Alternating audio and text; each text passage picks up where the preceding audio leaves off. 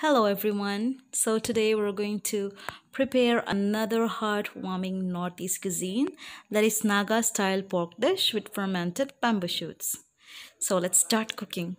For this we need 500 grams of pork, some dry fermented bamboo shoots, dry red chilies and Naga king chili, salt, crushed ginger and garlic, into a pan we're going to add the pork pieces. We're not going to use any oil here.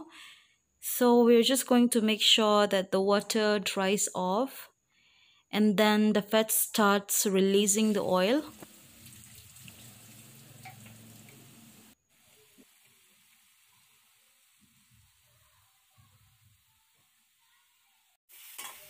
We have to keep on stirring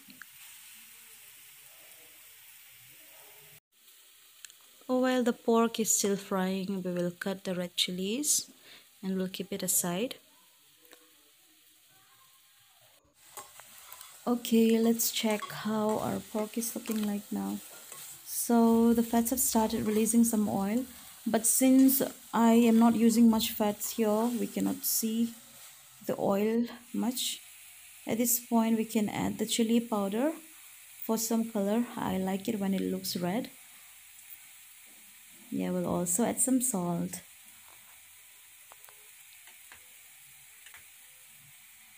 The dry red chilies that we have already cut we're going to add them. It's going to be spicy guys. Yeah keep on stirring it. After stirring 5 minutes you can add the crushed ginger and garlic and we'll also add the dry fermented bamboo shoots. And once again we're going to give it a good mix.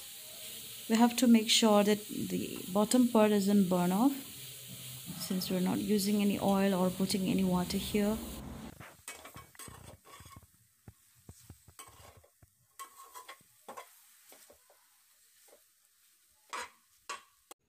Now we will cover it with a lid and we'll cook it for at least an hour because we have to cook it in a low flame so it takes time. Okay guys. Don't forget to stir it in between. We have to check it in between so that it doesn't get stuck at the bottom. After an hour we will check it now. Well our pork looks ready. So we're going to add the crushed ginger and garlic that we have saved it's going to bring good aroma our Naga style pork dish is ready to be served.